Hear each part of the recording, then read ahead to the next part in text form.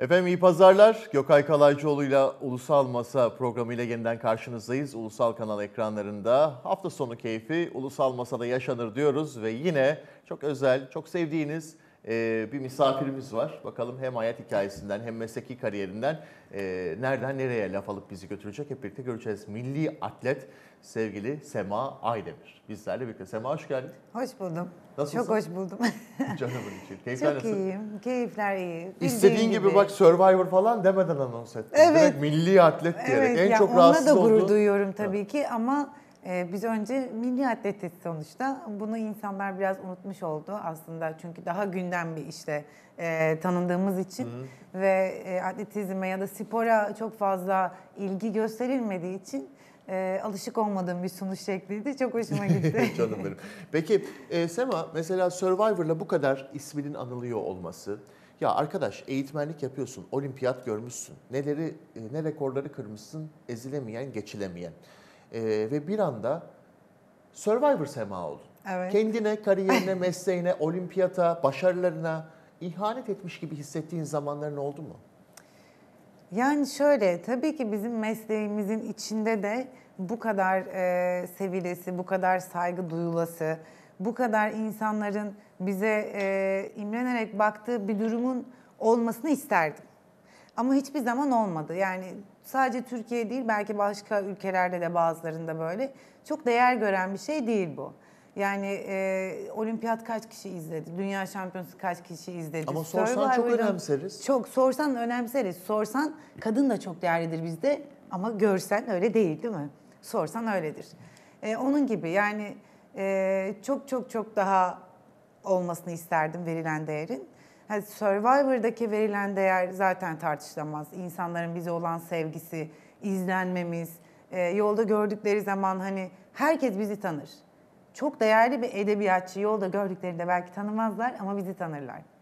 Bu çok güzel bir şey ama dediğim gibi keşke yaptığımız, başarılı olduğumuz işte de aynı değeri, aynı sevgiyi, saygıyı görebilseydik. Bu biraz eksik. Ama bir diğer tarafta da idealist ya da e, gerçekten spora, başarıya, madalyalara, kupalara artık adı her neyse e, o milli mücadelenin sizin sahadaki e, karşılığına o kadar ömrünü adamış bir insan olarak belki de Survivor ya da herhangi bir e, popüler ayrıca bir şeyle aslına bakacak olursan bunun ne kadar önemli olduğunu, ne kadar kıymetli olduğunu, o sporların sporcuların aslına bakacak olursan isimsiz kahramanları olmadığını göstermek adına da belki de bir yatırımdı.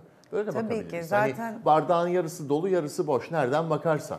Kesinlikle hani bizim şansımız şu, biz işimizde e, iyi olan insanlardık ve e, Acun Bey işte bu bahsettiğiniz kesim oluyor. Acun Bey'in e, spora, sporculara zaten herkes biliyor futbola olan düşkünlüğünde. Evet. e, ne kadar saygı duyduğu ve nasıl ne göze baktığından dolayı buradan anlayabiliriz. Çünkü o öyle bir bakıyor ki evet bu milli atlet burada olmalı ve Türkiye onu tanımalı. Bu platformda gücünü göstermeli. Yani aslında onun bize ve spora verdiği değerle beraber e, bu platformda biz şans bulmuş olduk ve hepsini bir yere aldık. Yani eskiden başarılıydık, şimdi de tanınmış olduk. Tanınınca insanlar hani tanındım ben şahsen bundan mutluyum. O değil ki konu. İnsanlar Sema Aydemir ya da işte Seda Hoca ya da Nagihan'ı ya da işte bir seni gördüğü zaman ya benim kızım da sporcu olsun. Bak işte madalya kazanmışlar, milli forma ne kadar yakışmış. Ya Türkiye'de böyle bir imaj yaratmış oldu bu Survivor aslında. Yani sporcuların neler yaşadığını, nasıl olduklarını e, aslında televizyona taşıyan kısım oldu. O yüzden yine şanslıyız, yine şanslıyız. Ama aslına bakacak olursan işin bir de şöyle bir boyutu var. Şimdi Sema Aydemir aktif olarak atlet olduğu dönemlerde bir şeylerden feragat etmeden ya da bir şeylerin üstünü çizmeden eee, bir yerlerden yolunu çevirmeden de popüler kültürün içerisine giremedi. Yani sen hani Evet. kızım burada bu işin var tamam sen çalışıyorsun, milli atletsin, müsabakalara katılıyorsun, ülkeyi temsil ediyorsun ama hadi bir 3 ay sana kafa yedirsin git bir Survivor'a gel demedi kimse. Yok. Sen bir şeylerin riske attın. Yani her sporcu ya da her e, olimpiyata oynayan, madalyaya oynayan, kupaya oynayan sporcunun da hani Yol Kayağı'nın rahmetli bir sözü vardı ya yolu sevgiden geçen herkes bir gün bir yerde buluşur. Herkes ünlü olacak, herkes Yok. popüler kültüre, magazin. Da- sen bunlar için bir bedel ödedin ve Evet. sen bunlar için bir şeylerden feragat ettin. Doğru muyum? Evet. O da e, işte şansı her yolu geçenin değil Soğumuş tabii muydun? ki. Bıkmış mıydın? Gözden çıkartmış mıydın? Ya artık zaten e, aşilimde bir yırtık vardı. Aşilim yırtılmıştı. Daha iyisini koşamayacağımı düşündüğüm zaman zaten. Yani daha iyisini yapamayacaksan e, bunu yapmanın anlamı yoktu. E, zaten artık böyle açık söyleyeyim ki e, memlekette spor yaparak geçinemezsin. Öyle de bir durum Onu var. söyleyeceğim. Yani çok nankör bir aslında Tabii. bakacak olursan gönül verdiğin yol. Nankör bir yol. Evet. Yani e, en ufacık bir hata senin hayatına, mesleki hayatına mal olabiliyor. Ve bir e, kendi branşın için söyle dilersen e, bu işin ömrü kaç yıl, kaç yaşına kadar, nereye kadar?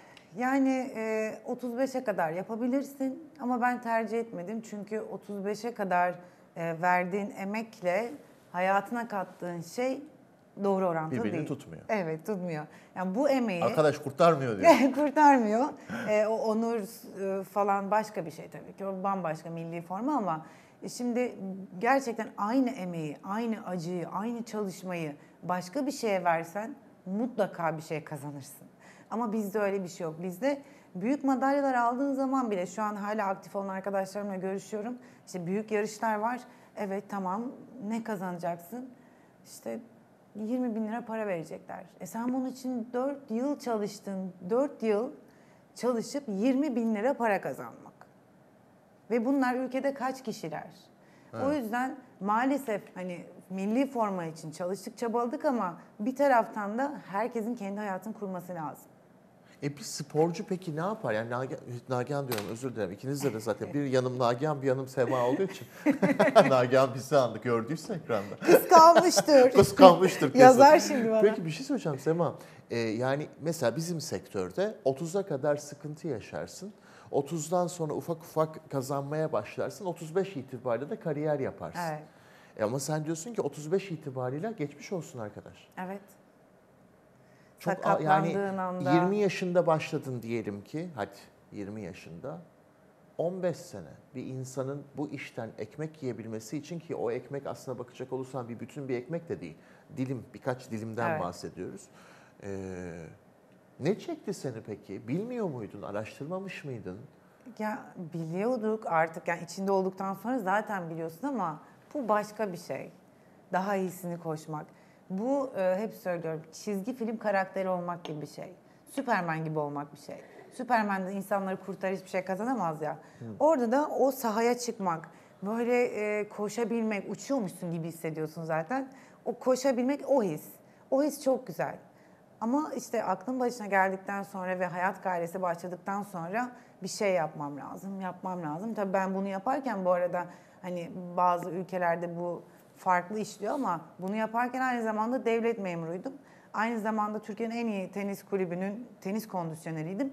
Aynı zamanda sabah akşam çift antrenman yapıyordum. Yani aynı zamanda bir çocuk bakıp eve bakıyordum. Yani bunu yaparken bir yandan da para kazanacağım şeyler yapıyordum ve bunu da bu e, sevgi için yapıyordum.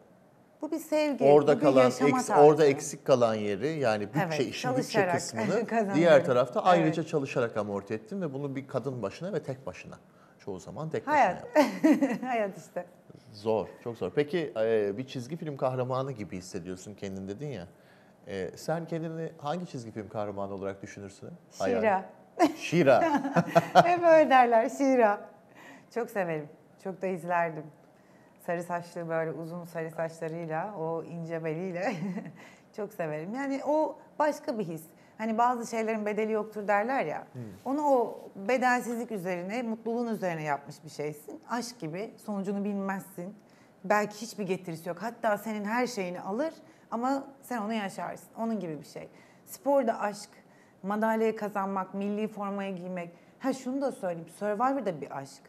Mesela şimdi biz Survivor'a gittik kaç sezon ama bir de biz milli Survivor'ız. Böyle bir şey var.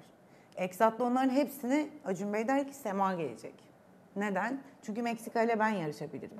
İşte Macaristan'la, Yunanistan'la, Dominik'le ben yarışabilirim. Ya da işte Seda ya da Nagihan. Kondisyon itibariyle mi yoksa uzmanlık Çok- alanın itibariyle, Şimdi spordaki çok başarılılar. Meksika kızlar havada uçuyorlar. Havada taklalar atıyorlar. Exatlon olduğu zaman biz kırmızı beyaz formamızı giyip Domine'ye gidiyoruz ve o ülkelerle yarışıyoruz. Peki bir Bu şey da beni söyleyeceğim çok yani bunun coğrafyayla ne alakası var ki onu anlamadım ben. Yani orada o kızların e, ortak bir özelliği midir bu yani E, bunlar onlar doğdukları? da şimdi mesela Meksika'da bir kız var Mati Alvarez diye. O da benim branşımı daha önce yaptığım branşı Peki. yapan hep tatloncu bir kız. Ha. Efsane bir kız. Hem hızlı hem güçlü hem dayanıklı. E, bizde de on, onlara sahip olan biz olduğumuz için biz yarışıyoruz ve onlara davet edilmek de bana çok gurur veriyor. Ha. Dolayısıyla kendini milli Survivor'cı olarak Evet görüyor. öyleyiz artık milli Survivor'da da milli. Şimdi işin Survivor kısmına tabii ki geleceğim, konuşacağız. Ama tabii o konularla ilgili de tabii biraz da merak da uyandırmak istiyorum tabii ki. ee, izleyicilerimizden, takipçilerimizden çok fazla mesaj geldi. Şunu da sorun, bunu da sorun vesaire falan. Ee, ama onları böyle programın böyle bir ikinci yarısı gibi falan yapacağım. Nasıl bir çocukluk geçirdin?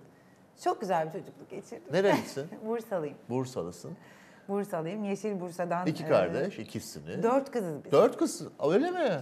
Dört kızız, Aa. ikizim var. Tamam. Ee, bir tane ablam var, beş yaş büyük. Bir tane de kardeşim var, kız kardeşim var. Yani aslında hem abla olmayı, hem kardeş olmayı, hem de arkadaş olmayı ikizimden dolayı çok iyi biliyorum. Ee, dört kızız ve dört kızın olduğu bir ev nasıl eğlencesi olabilir? Tabii ki çok eğlenceli bir çocukluk geçirdim. Özellikle Seda'nın e, benimle uğraşmalarıyla beraber ezilmedim mi? Ezildim ama güzel. Seda biraz daha yırtık. Tabii. Değil mi? Daha tansiyonu bazen yüksek. Evet. Sedan Ee, daha sevmesi tepkisel. bile sert. He. Seda severken böyle hırpalar. Eve dolma getirir yiyeceksin. Yemeyeceğim dedikçe ağzına ağzına tıkar. Seni yere yatırır ağzına tıkar.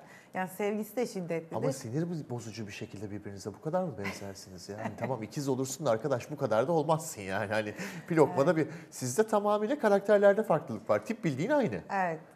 Zaman zaman anne falan da karıştırdığı zamanları oluyor Eskiden değil mi çok karıştırıyorlardı. Şimdi yavaş yavaş artık yıllar geçtikçe e, ben güzelleşiyorum. Bir şey Şimdi söyleyeceğim. ben bunu- bekar olduğum için yaşlanmıyorum malum. Evlilik insanı yaşlanmıyor. Ee, sporcu olduğunuz zaman bir dezavantaj olarak kadın figürlerde hep maskülen bir tavır. Evet. Maskülen bir tarz vesaire. Yani e, milli sporcu olup, milli atlet olup, olimpiyatlara gidip vesaire falan ama günlük hayatında dişil bir enerjiyi e, çevreye saçmak imkanlı olmuyor mu? Yani aslında bana şey diyorlar yok sen atlet gibi değilsin sanki atlet değilsin sen diyorlar. Tamam ama Ee, şimdi şimdi daha- söylüyorlar bunu. İlk seni Evet, tanıdığımız hani zamanlarda o proporsiyona uygundu. Çok daha fazla kaslı oluyorsun bir kere. Tamam. Ama bunu kendi yönetmen lazım. Mesela ben o dönemlerde böyle bir elbise tercih etmem. Aha. Kaslarım görünmesin diye. Hoşuma gitmiyor çünkü. Bir kadında bu kadar kas olması bence hoş değil. Zaten arkadaşlarıma da giyinirken hep söylerdim. Biz ne kadar kapanırsak o kadar güzeliz. Çünkü yüzün zaten güzelse kapat, kas görünmesin. O biraz daha sert. İnsanlarda baktığı zaman daha sert gösteriyor. O yüzden ben hep böyle daha dikkatli oldum. Özenmiyor muydun peki ya? Abi insanlar neler giyiyor, ne yapıyorlar, ne dekolte veriyorlar, onu yapıyorlar, bunu yapıyorlar. E sen de güzel bir kadınsın vesaire ama mesleki deformasyon itibarıyla Evet. ben işte giyemem, giymemeliyim. Giyersem benim ben o zaman taşıyamam. özendiğim o milli mayoyu giyip mayo çok yakışıyor mesela. O kaslı vücuda o mayo çok yakışıyor. Benim podyumum da orası.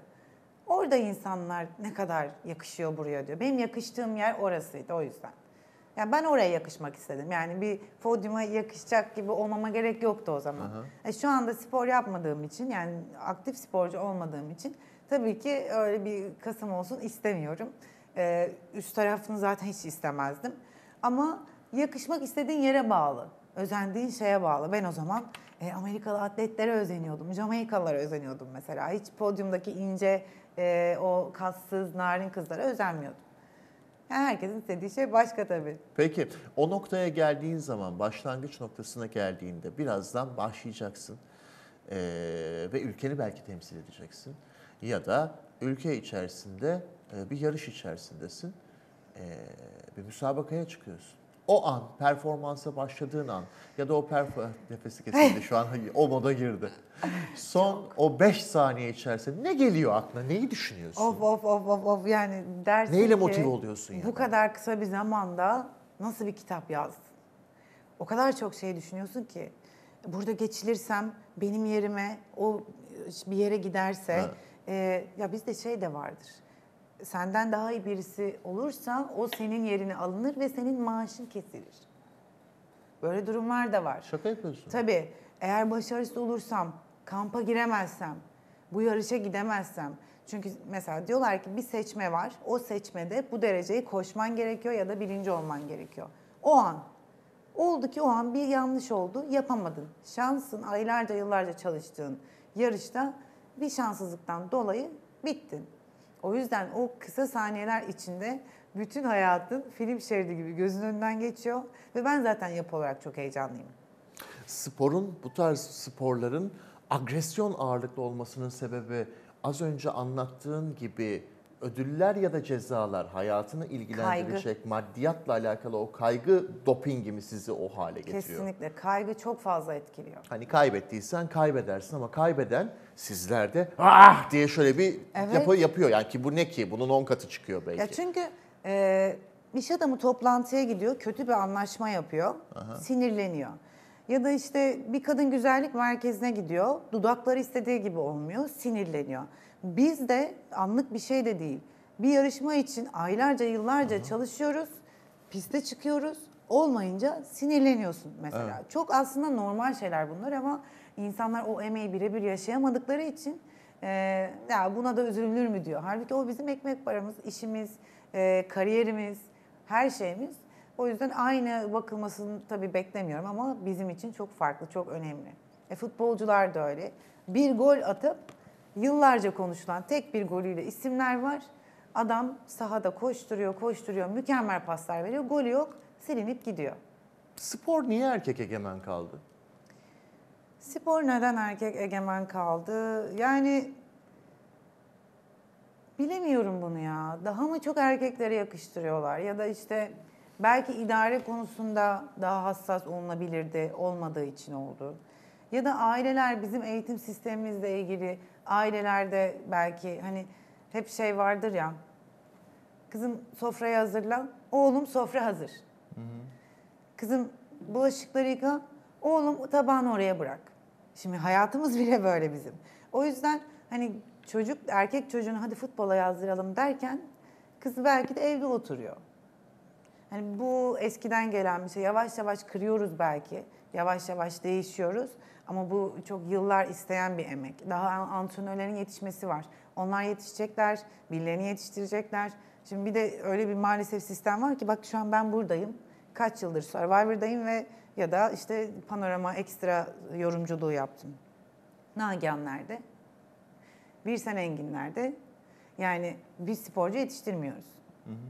Kimin yetiştirmesi lazım bu sporcuları? Olimpiyatta yarışmış, madalyaları, dereceleri, rekorları olan biz kadınlar yetiştirmiyoruz. Kimler yetiştiriyor? Şimdi benim hissettiğim şeyle hiç onları hissetmemiş birisi aynı çocuğu yetiştirebilir mi? Çok doğru. Yetiştiremez. Ama sistem olarak biz onlarla birebir çalışamıyoruz. Çünkü zaten e, çalışamayacak durumdayız. Çünkü e, bize o fırsat hem verilmediği gibi hem de fırsat verseler bile hayatımızı idame ettirebileceğimiz Refah sunulmuyor. Evet.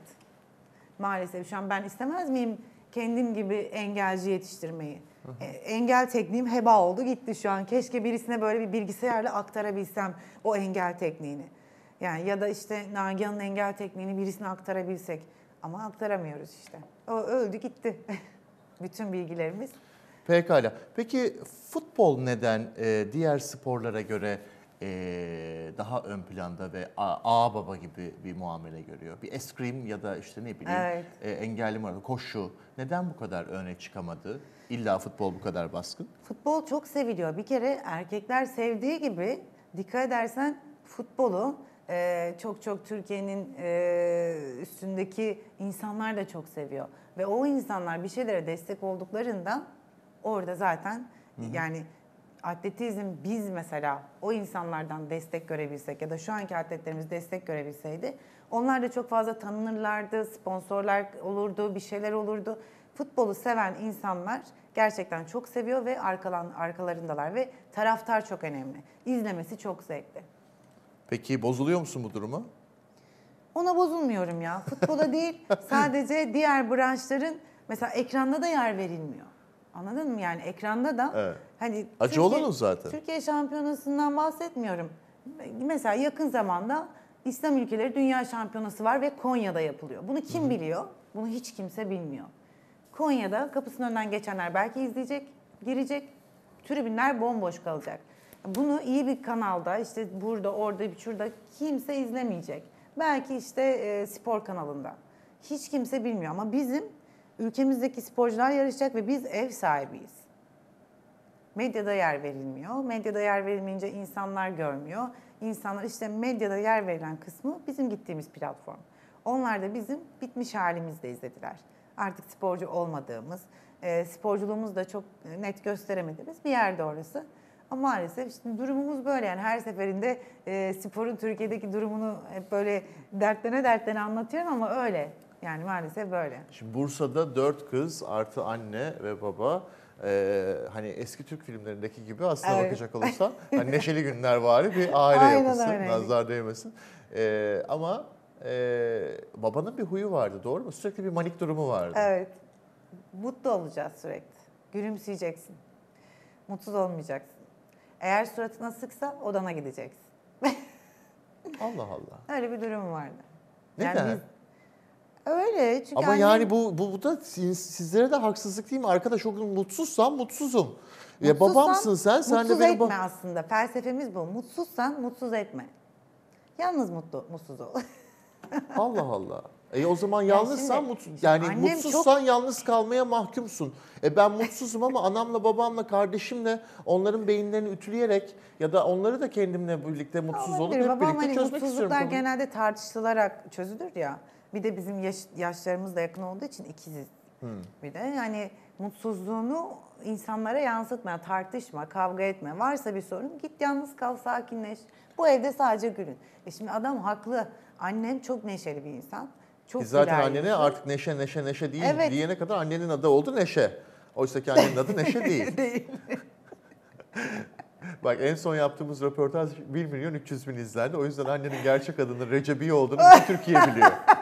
O, O yüzden, zaman sorun yok. o zaman sorun yok. Neşe neşe diye diye yani. var. Recebiye oldu Neşe. Evet. Ve Neşe Daha al- da iyi olmamış mı ya? Recebiye nedir Allah aşkına? Hani Recebiye de demezsin ya. Şimdi demek istemedim ama. Anneciğim yani Recebiye nedir yani? Ellerinden öpüyorum bu arada. Şey, e, tabii o konulara çok fazla girmek istemiyorum ama e, hani burada biraz daha işin profesyonelliği, hani işin uzmanı, ehli olan insanlarla profesyonellikleri üzerine konuşuyoruz. Çok fazla magazin yapmayacağım, yapmak da istemiyorum. Ama hani şöyle üstünden hafif bir teğet geçeceğim sadece konunun. Baban iyi ki zamanında e, çocukluk ve ilk gençlik çağlarında sizi bu kadar mutlu olmaya teşvik etmiş. Bu kadar kahkahalar e, arşı delmiş belki. Çünkü boş vakitlerinizde hadi gelin oynuyoruz falan deyip Evet. enstrüman da çalıyordu değil mi? Ben mi? Hay baba. Babam yok. Ha çalmıyor mu? Şarkı markı mı söylüyordu? Ne yapıyor? Bize şey yapıyor. söylettiriyordu. Ha size söylettiriyordu. Tamam. Evde hatta Tam bazen böyle elektrikleri bilerek kesip e, hani hiçbir şey izlemeyelim böyle herkes dalmasın bilerek diye. elektrikleri mi kesiyordunuz bu Evet. Allah Çünkü Allah. çok seviyorduk onu. Taklitler o zaman bir demet tiyatro çok Ha. şeydeydi. Onu işte ben çok fazla feriştah yapardım. İçinde bir feriştah İşte yadı. babam böyle bizi Üflemeyin karşısına alırdı. böyle şarkı söylerdik, taklitler yapardık falan. Çok hoşumuza giderdi. Ee, elektrikler kesik olmadığı günlerde de arada böyle hani onu sevdiğimiz için elektrikleri kesip e, toplanırdık. Çok hoşumuza giderdi. Bu aslında bunlar aslında bakacak olursan hayatının ikinci evresi yani medeni halinin artık evli olduğu dönemde e, yüzünde daha ağırlıklı olarak hüzün vardı. Doğru mu hatırlıyorum? Öyle. Öyle Yani oldu. o yüzden dedim hani babam belki de hani ilerleyen zamanlardaki yaşayacağın sıkıntılar ya da e, sancılı günlerin belki de bir telafisini yapmış. Toplu, toplu mutluluk yaşamışım.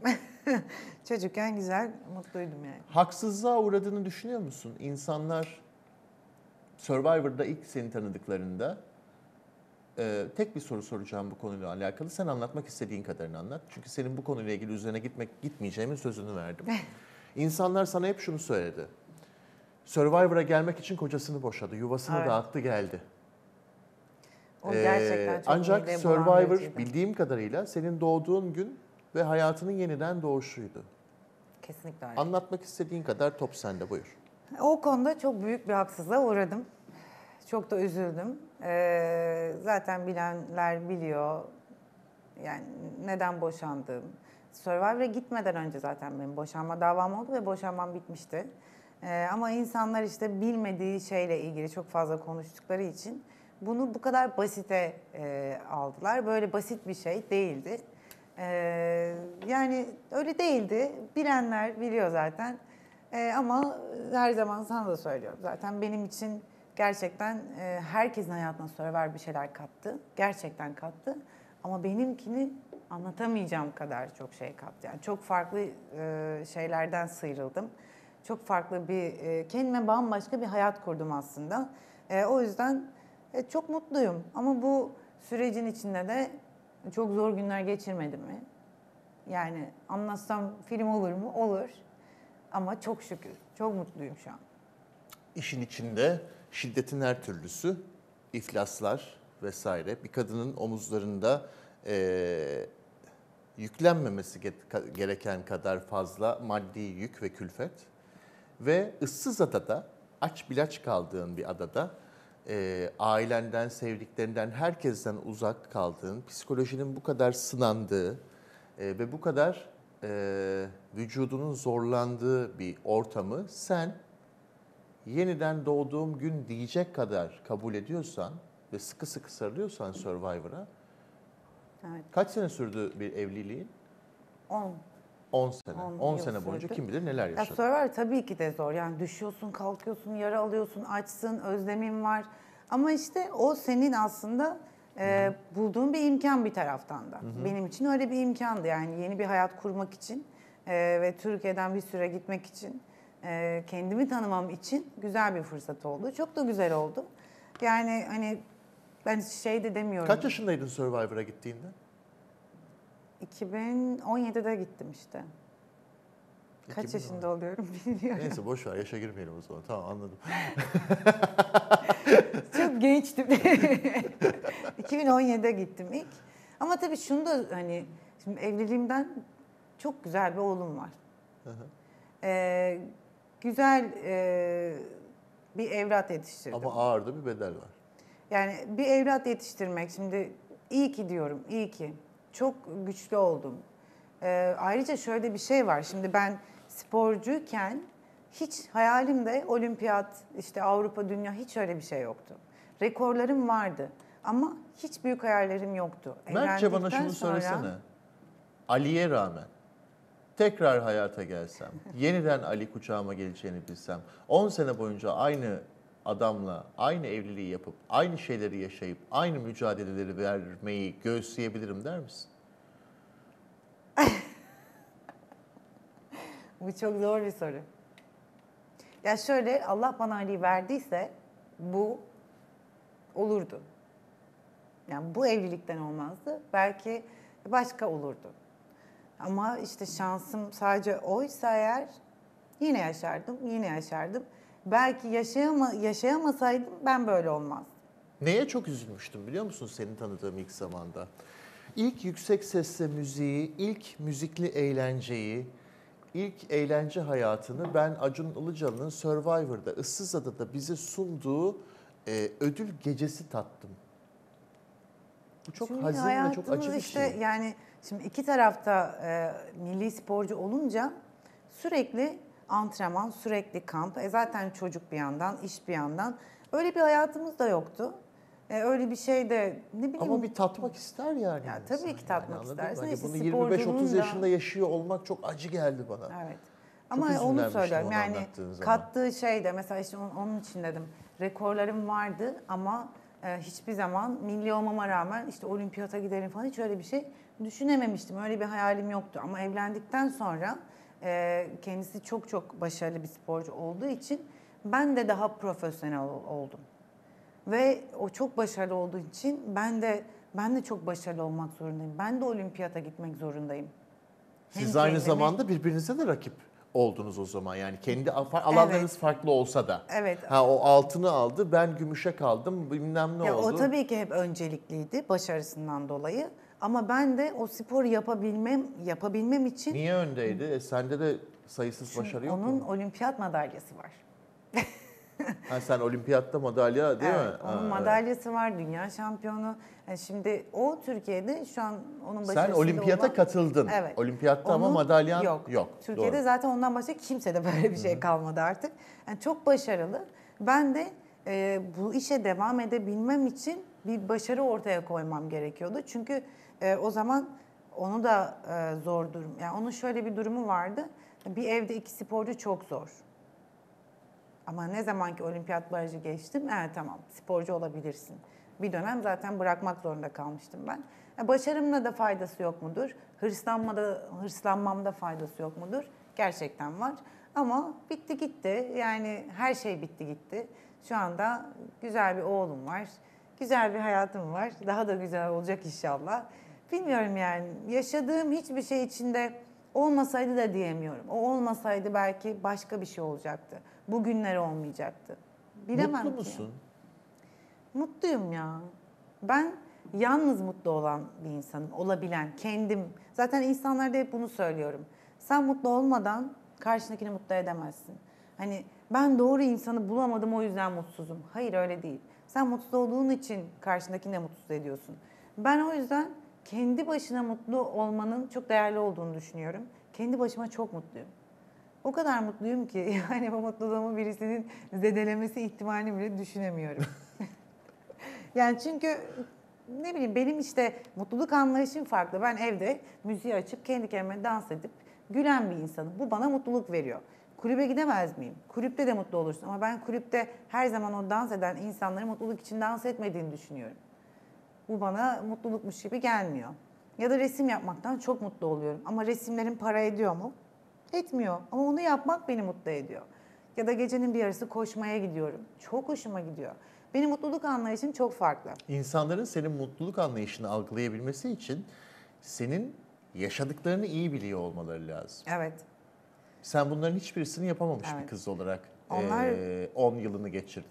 Nasıl bunları yani Hatırlıyorum cümleni mesela. Mutfağımda oturup kendi başıma yaptığım bir kahveyi höpürdeterek içmek bile benim için bir lükstü. güzel, benim için güzel bir hayat. Her şey beni mutlu ediyor ya. Gerçekten mutlu ediyor. Yani şu an burada senin yanına gelebilmem. Makyaj yapmak. Saçlarımı toplamam, yapmam. Her şey beni mutlu ediyor. O yüzden hani çok böyle neden şimdi hani herkes biliyorsun tatillerdeler ya.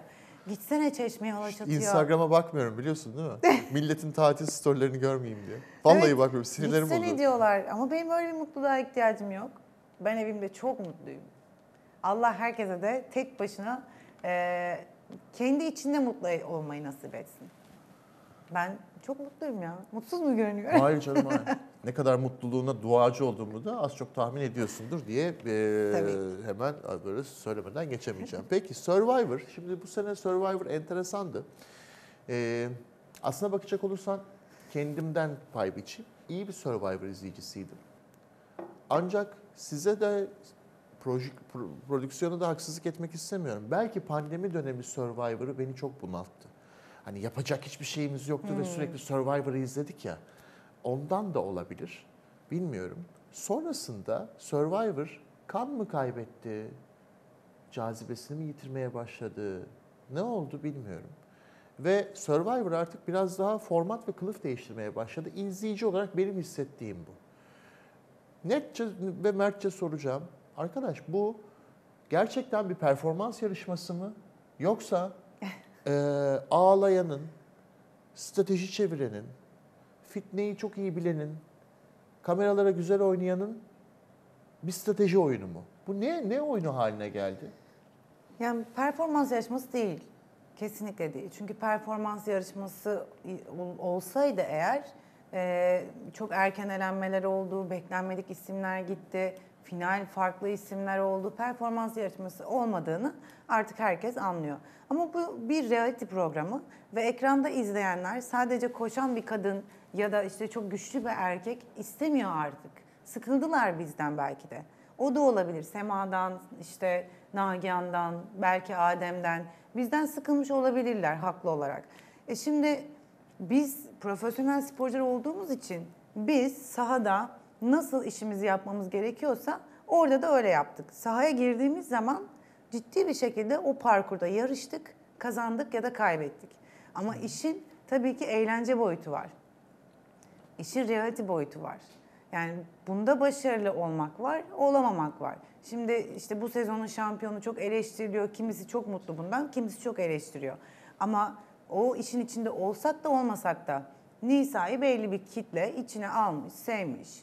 İşte belki o umursamaz tavrı, belki o neşeli tavrı, belki o ağlaması, belki ben oynamayacağım demesi insanlar kendini onda bulmuş belki de. Yani ekrana yansıyan e, Nisa, ben de yorumculuk zamanımda o zaman çok da seviyorum yani. O yolladım kıza. Ama ben adada olduğum zaman yani aramız kötü değildi bu arada. Hep Çok da haz selamlaştık. ettiğin söylenemez Zaten yani. Şimdi karşı Survivor'ı takımlardayız izliyoruz da yani. bir Ha. paylaşımımız olmuyordu. Konuş arada laf Yalnız atmalar, yorumu görüşmeler. şöyle yapıyor. Karşı takımdayız ya zaten çok da fazla bir Yok diyalog. şimdi Hani bizde, iğrenerek- bizde zaten öyle bir şey ki biz birisini seç, seçince bile biz kötü oluyoruz. İş seçmek, iş seçmek, iş bir rakip seçip onunla yarışmak. Biz o zaman bile kötü oluyoruz. Sen milli atletsin. Abi niye geldiniz o zaman? Ben niye geldim o zaman? Yani sistem bu, format bu, rakip bu. Ben kimi seçeyim? Onu seçiyorsun zayıf, bunu seçiyorsun zayıf, bunu seçiyorsun zayıf. Ama senin seçimlerine zaten başlı başına karışılmaması gerekiyor. Zaten İşte bu bir zaten strateji ben oyunuysa seçim eğer. konusunda ben şimdiye kadar hiç karar vermedim. Takımın bana der şunu seç, ben onu seçerim. Ben hiçbir zaman ben bunu seçeyim demem. Asla demem. Ha, sadece Seda konusunda arkadaşlar ben bu oyunda kesin bu oyunu alırım. Kesin alacağım oyunda kardeşimi ezmek istemem. Seda'yı seçmeyeyim. Kim istiyorsanız seçeyim. Kardeşinle aynı takı yani ayrı takımlardasınız ama aynı oyun içerisindesiniz. Şimdi bu Survivor'ın ruhuna aykırı bir durum değil miydi? Hani normal şartlarda senin evinden ırak, sevdiklerinden ırak, onun psikolojisini yaşadığın, o ters psikolojiyi yaşadığın, belki onun agresyonuyla daha hırçın olduğun, yani rating kastığın, e, aç kaldığın vesaire falan bir formatta dibinde yarın var. İkiz kardeşin.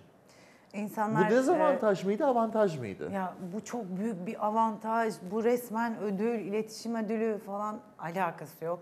Bu o kadar zor bir şeydi ki. Yani şimdi karşımda ikizim var ve aç.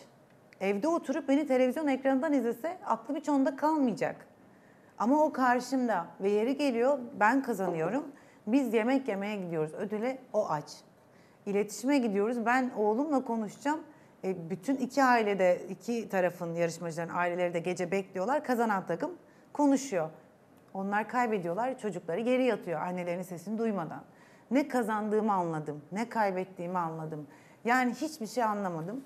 Çok üzüldüm. Elendiği zaman da çok üzüldüm. Çünkü Çok demoralize oldun. Elendikten sonra senin performansında ciddi bir farklılık oldu. Kesinlikle çok kötü oldum. Çünkü e, onun evine gitmesi beni çok rahatlatıyor ama onun e, hayali o kadar değildi. O bir de sporu erken bıraktığı için içinde kalan şeyler vardı. O hayalini tamamlasın isterdim hep. O yüzden gitmemesi gereken bir zamanda gittiği için çok üzüldüm. E bir de kendimi çok da yalnız hissettim o gittikten sonra.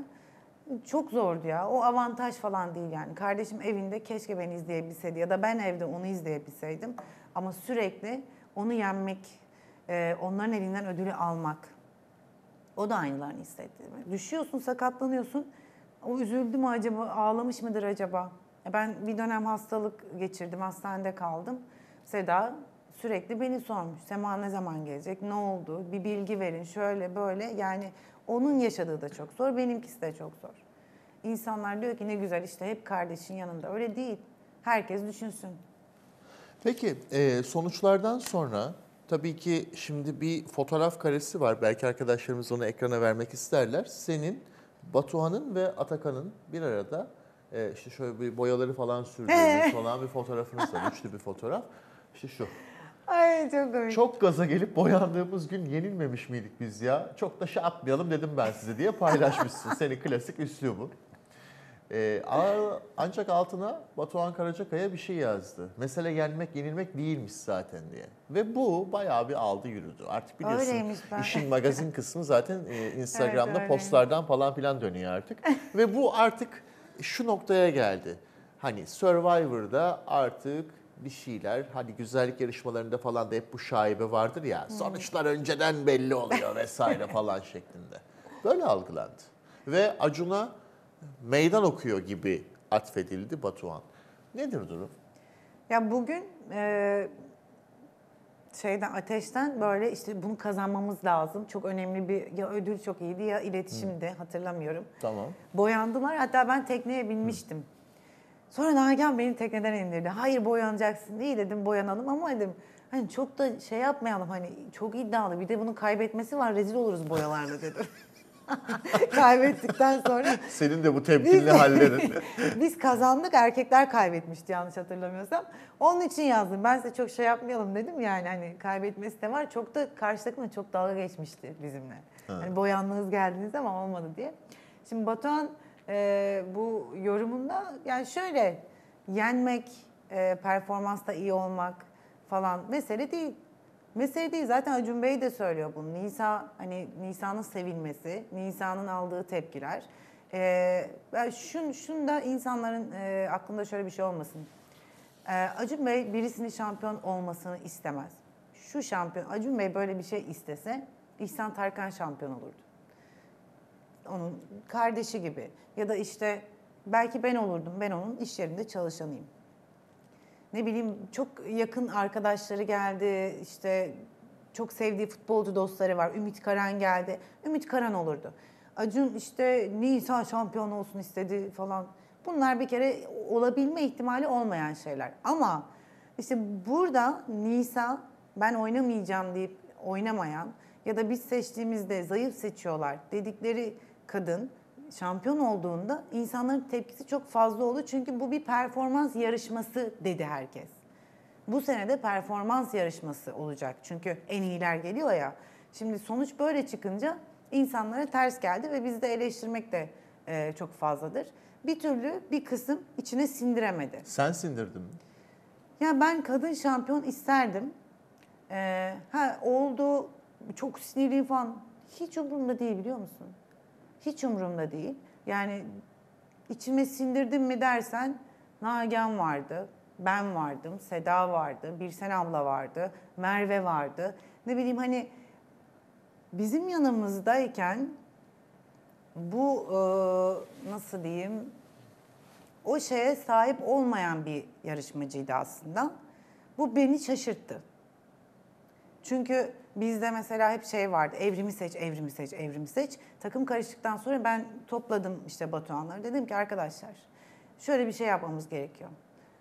Evrimi seç tamam anlıyorum ama evrimden hızlısınız ikiniz de. Şöyle bir şey beni dinlerseniz ben Nisa ile başlayayım. Nagihan hanginizi seçerse seçsin. Evrimi de biriniz alırsınız. 2'ye 1, 4'e 2, 6'ya 3. Biz 8'de bitiriyoruz zaten. Her türlü kazanırız. Ve biz 7 dokunulmazlığı üst üste böyle kazandık. Benim Nisa'yı seçmeye başlamamla kazandık. Yani bu strateji evet dediler bunu deneyelim. Baktık akıp gidiyoruz biz. Şimdi yarışma olarak belki bir taraftan eksik kaldı ama diğer taraftan o kadar iyiymiş ki o kazandı. Hani buna yorum yapamıyorum. Yarışmacı olduğum için yapamıyorum şimdi. Dışarıdan bir insan olsam belki ama yarışmacı olduğum için yarışmada kaybetmenin bir asaleti vardır. Kazandın mı kardeşim? Kız kazandı. Artık bize laf düşmez. Bize laf düşmüyor. Yani ben kazanmış bir kızı nasıl yorumlayabilirim şu anda? Demek ki performans yarışması değil. Demek ki izlediğin şey bambaşka bir şey. Demek ki senin gördüğün şey başka. Yarışmacılar bambaşka görüyordu. İşte o fotoğraf karesinin altındaki yorum da bunlara çok uyuyor. Evet. Çok Yani da şey yapmamak Batuhan- lazımmış demek ki Evet, yani. Batuhan gerçekten Survivor'a gönül vermiş bir çocuk. Bir gün oyunda oynamadığı zaman ben bugün oynayamadım ya, oyuna çıkamadım. Her şeyiyle o kadar çok seviyor ki şimdi açık konuşayım bazı insanlar kariyerleri bittiği için para kazanmak için gidiyor. Gündem olmak için, tanınmak için. Hani artık e, Türkiye'de hiç esamesi okunmadığı için giden çok fazla isim var. Batuhan öyle değil. Batuhan çok iyi bir projenin içinden çıkıp gitti oraya. Gerçekten sevdiği için. Çocukluğundan beri de çok severmiş. Çünkü aslında çok iyi bir sporcu olacak yeteneğe sahipken işte o çocukkenden ekranda olma, çalışma durumundan dolayı sporcu olamamış ama o sporcu olamama hırsını Batuhan Survivor'da yaşadı. O yüzden hani ben bu kadar emek vermişken diyor, ben bu kadar hani her şeyimle buradayken e demek ki çok da önemli değilmiş diyor. Onun bakış açısı da bu. Yarışmacı olarak ben onu anlıyorum. İzleyen olarak da ben Batuhan'ı anlıyorum. Ama işte Nisa'yı eleştirenler kısmında da buna bir şey söyleyemiyorum. Çünkü ben çok yarıştım. Kazanma asaletini de biliyorum. Kaybetmenin asaletini de biliyorum. Keşke kaybettiklerinde yani biz orada yarışırken aynı asalette olabilselerdi. Ee, ama ben diyorum ki kız kazandı kardeşim. Kupası var. Güzel bir telefonumuz var. Kimmiş? Sevgili Nagihan Karadere, hoş Haydi. geldin. Alo. Nasılsın Nagihan? İyiyim. Teşekkürler Gökhan'cığım. Sen nasılsın? Teşekkür ediyoruz. Sema ile oturduk. Senin dedikodunu yapıyoruz karşılıklı. Ya Nasıl? beni etiketlemişler bir baktım Gökhan Sema. Allah'ım dedim eski program mı yeni mi falan oldum böyle. Şaşırdım. Nasıl keyifler? iyisin? Vallahi çok iyiyim. Şu an deniz kenarındayım. Bodrum'da Tatildeyim. mısın hala? Aa, ne ben tatil Bodrum'dayım. ne tatil. Evet, bir güzel Ama bir tatil yap. söyleyeyim De- Sema, Demet'le misin yine? yorulmuşum. Demet'le misin? Evet evet. Ha, Demet'ten ayrıldım şimdi. Kızımla devam ediyorum. Kızım devam etmek istedi. Oh, Ben de uzattım tatili. keyfin bol olsun. Burada Keyfin bol olsun. arkadaşlarım, dostlarım Biz var, biz de onlar oturduk güzel. oturduk Seba'yla e, ulusal kanalda böyle güzel bir program yapıyoruz. İlerleyen zamanlarda seni de misafir etmeyi çok isteriz Tatilini burada. bitirirse. Tatilini bir bitirirsen Lütfen. bitmeyen tatil yapmışlar sana çünkü. Ya bana diyor, bir "Gel şey kız, o gel," kadar diyor. yorulmuşum ki, o kadar yorulmuşum ki. Aa, yok dinlenemiyorum yani. Bir şey söyleyeceğim. Çıkmıyor. Vakti zamanında birbirine kanlı sopa gönderen iki kadın şu an birlikte tatil yapmayı konuşuyorsunuz. Farkındasınız Tabii değil mi? Dengesizliğinizin alnından öpüyorum şu an ikinizin de. Ya. Bize bizden e, başka kimsenin faydası olmayacağını anlamışızdır. Kesinlikle öyle. Kesinlikle öyle. Birbirimize saygı duyuyoruz. Birbirimizin başarısını takdir edebiliyoruz. En azından her zaman yanımızda da olabiliyoruz. İyi günümüzde de kötü günümüzde de. Bu da bize ders olmuş oldu. Nagihan Hayat Sema'ya, dersi, Sema- gibi. Sema'ya az önce sordum bu şampiyonluk meselesini falan. Hani bu iş performans mı, bu iş drama mı? Ha, ne oldu yani Nisa'nın şampiyonluğu? Vallahi takdir ediyoruz. Yapacak söyleyecek hiçbir şey yok. Ee, Sema ile Severek dinledi. izliyoruz der gibisin Nagihan. Şöyle bir şey söyleyeyim. Vallahi yolda yürüyorum. Yani e, herkes sitem ediyor şimdi. Açık ve net yani. Kimseden daha olumlu bir şey duymadım. Belki yüzümdür diye insanlar bunu söylüyor ama yüzüm de, e, olmasa da sosyal medyadan her yerden de farklı şeyler duyuyorum, görüyorum, şahit oluyorum. E, ama şimdi de şöyle bir şey var. Orada 6 ay mücadele edildi. İyisiyle kötüsüyle hak etti hak etmedi onu söylemek bize düşmez. Ama daha çok hak edenler oldu mu? Hani performans bakımındansa tabii ki daha fazla hak edenler oldu. Ee, isim vermeye gerek yok. Ama SMS e, olayı çıktı biliyorsunuz yıllardır vardı. Aslında çıktı Aha. demeyeceğim yanlış bir e, konuşma da yapmak istemiyorum. Peki. Ee, ne bileyim ya böyle e, çok zorlandık ya. Bizde patlak olan e, kafası gözü patlayanlar mı, aşili patlayanlar mı, sağlam hiçbir yerimiz kalmadı. Sadece e, yani bunu hak etmedik diyoruz. Bunu hak ettiğimizi e, yani böyle bir sonucu hak etmedik. Nagihan, Sema ikinize beraber soruyorum. Peki şimdi ikinizin de Nagihan biraz daha e, belli eder cümleler kullandı. Sema biraz daha e, sitemkar olmakla birlikte daha naif cümlelerle kendini ifade etti ama ikiniz ortak yani paydada. şimdi yalancı olmaya gerek yok. İki e, böyle e, vır, mırın kırın etmeye de gerek yok. Evet kırgın mıyım? Yine söylüyorum. Yine kırgınım. Hani sonucun böyle olacağını gerçekten beklemiyordum. Bir tek bu be- benim açımdan değil, bu bencillik açısından da değil. Benim gibi çok kişi orada hak etti. Ha ben bu arada Nisa hak etmedi de demiyorum. Tabii ki 6 ay mücadele verdi. 6 ay oranın kahrını çekti. Ama e, ne bileyim hani sezon, performans sezonu olarak böyle ballandıra ballandıra e, konuşulunca biz de bir havaya girdik yani. E, herkes de bizi şampiyon olarak görüyor. Hepimiz şampiyonuz aslında. Sadece bir sembolik bir kişi bir kupayı kaldırdı. Ama yani ne bileyim herkes tarafından e, şoklandı diyeyim. Herkes e, şok yaşadı. E, tebrik etmek düşer bize de. Yapacak söyleyecek çok bir şey yok. Artık önümüze yolumuza bakacağız. Peki bir gün Yani- yeniden Survivor yolu gözükürse artık inancınızı yitirdiniz mi kızlar? İkinize de soruyorum. Ya ben daha öyle bir şey düşünmüyorum. Artık hayatıma yoluma bakacağım. Çünkü boş yere ders kurmak istemiyorum. Boyumdan büyük e, sözler de söylemem. Beni bilen bilir. Ya keşke hak ettiğimiz en azından yani şöyle bir şey. Biz Sema olsun, Seda olsun, ben, Merve. Hadi Merve sakatlandı. Dönmek zorunda kaldı. Ne bileyim Sude olsun. Bak Yağmur olsun. Daha aklıma gelmiyor. Ayşe olsun. Bak ne olursa olsun. Ayşe de beni arkadan bıçakladı ama hani birinden birisi en azından e, Hani şampiyon ol- olsa bu kadar belki çok büyük e, şoklanmazdı halk. Hani daha böyle e, umursamayan, daha böyle hani lay lay lom havasında olan mı diyeyim. Yani halk tarafından böyle konuşulduğu için söylüyorum. Ben İsa ile hakikaten hani e, onu daha narin, daha e, abla gibi yaklaştığım zamanlar olmuştur. O kendisi de bunu biliyor. Ona herhangi bir kırgınlığım, bir küskünlüğüm, bir art niyetim zaten olması mümkün değil. Ama sadece hani ne kadar, yani şunu söyleyeyim, Survivor'da kalmak isteyen, kalamadı gitmek isteyen gidemedi. Peki, Yani peki. Nagihan çok teşekkür ediyoruz. İyi tatiller diliyorum sana. rica ederim. Seni kolay çok gelsin. seviyoruz, Kendinize çok öpüyoruz. iyi bakın. Allah'a Sevgiler. emanet olun. Görüşürüz Hadi bay bay. Nagi. Bay bay. Görüşürüz canım. Bay bay.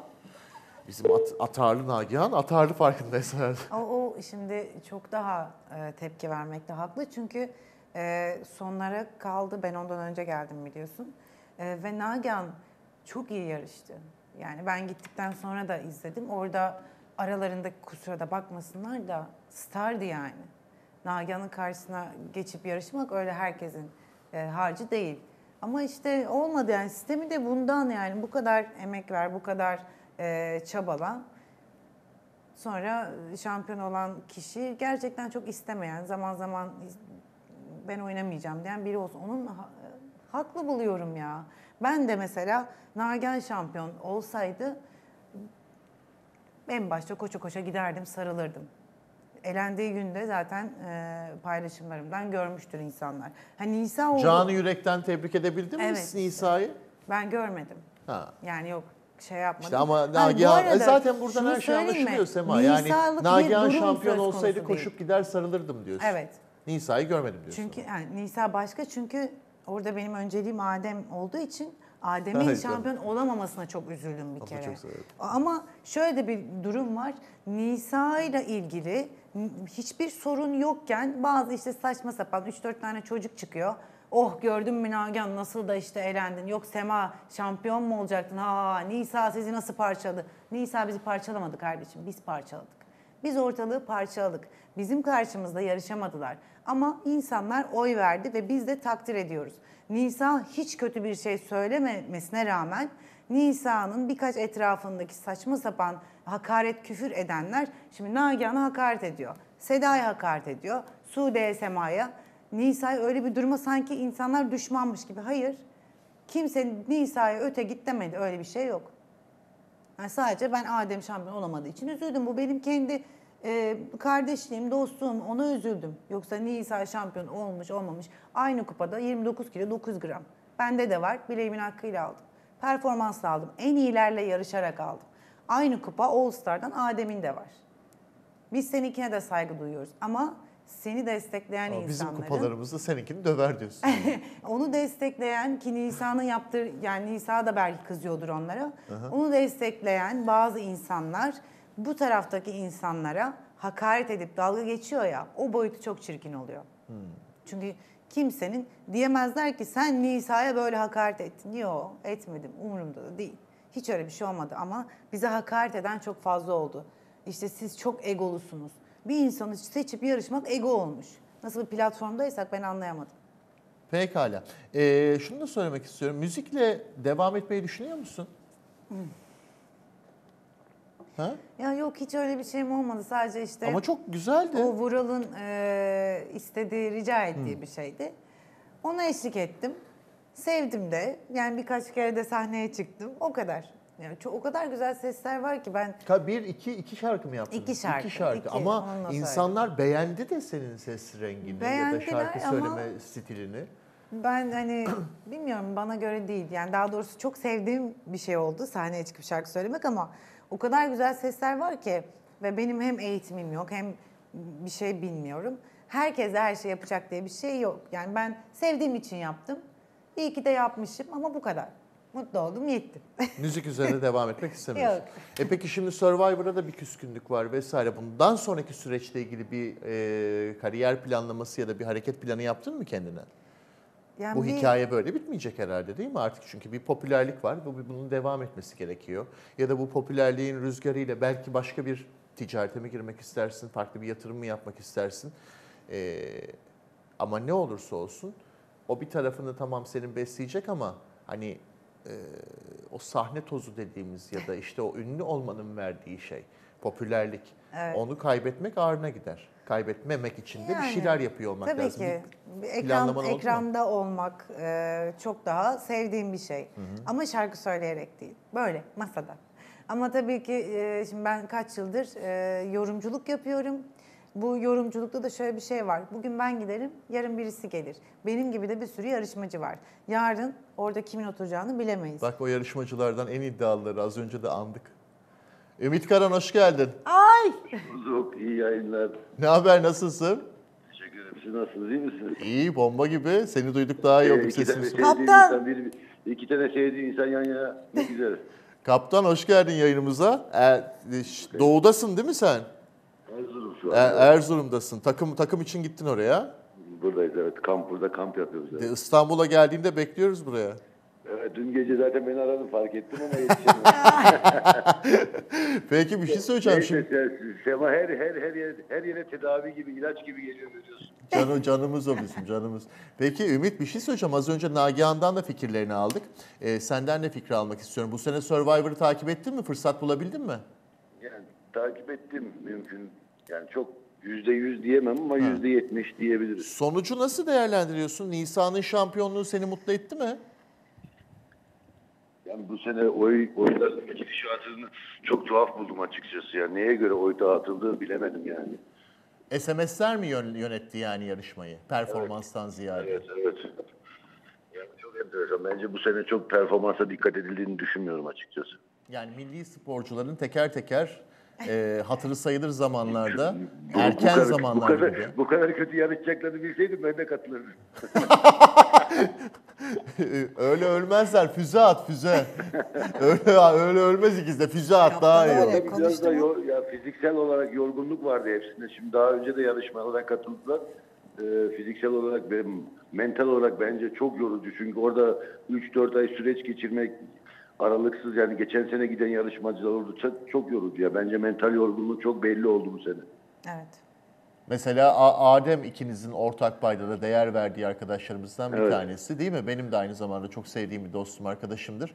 Adem'in performansı noktasında da mesela çok e, haksızlığa uğradığını düşünüyorum ben. Ümit fikrin nedir? Ya şimdi tabii Adem ağır bir sakatlıktan oraya girdi. Evet. Yani ben çoğu insan yarışamayacağını düşünerek tabii e, dediğim gibi yani ben bu sene yani çok performans odaklı oy kullandığını düşünmüyorum yani. Mesela burada geçen sene yarışan yarışmacıların biraz daha avantajlı. Biraz daha hani o Covid sürecinde evde daha fazla izleme fırsatımız olduğumuz yarışmacılar oldu. Biraz onlar daha avantajlıydı. Bir de işte sosyal medya gücü de çok önem taşıdığını düşünüyorum. Ama Nisa da bence iyi bir yarışmacıydı. Hak etmedi diyemeyiz. Bence bir bayan yarışmacı, bir kadın yarışmacısı bunu kazanması bence güzel oldu yani. Bir değişiklik oldu. Ha benim gönlüm isterdi Sema kazansın ama o da çok finale kadar gidecek fizik, man- mental gücü yoktu. Peki Ümit kolaylıklar diliyoruz nasıl sana. tanıyor? Ee, inşallah bu e, sezonda güzel sonuçlar gelir Anadolu takımları tarafında. İstanbul'a geldiğin zamanda da konuşalım bir araya İnşallah, gelelim. Seni de inşallah. misafir edelim. Sevgilerimizi sunuyoruz. Görüşürüz. Öptüm kaptanım. Sağ ol canım. Hadi bay bay. Evet böyle sürpriz güzelliklerimiz de oluyor gördüğün gibi. Değil mi? Ya, Bambaşka bir adam ya. Çok, Bak bir çok şey severim. itiraf edeyim mi? Söyle. Survivor'a o kadar futbolcu gelmiştir. İyi olduklarımız var. Hani daha benim tanımadıklarım da var.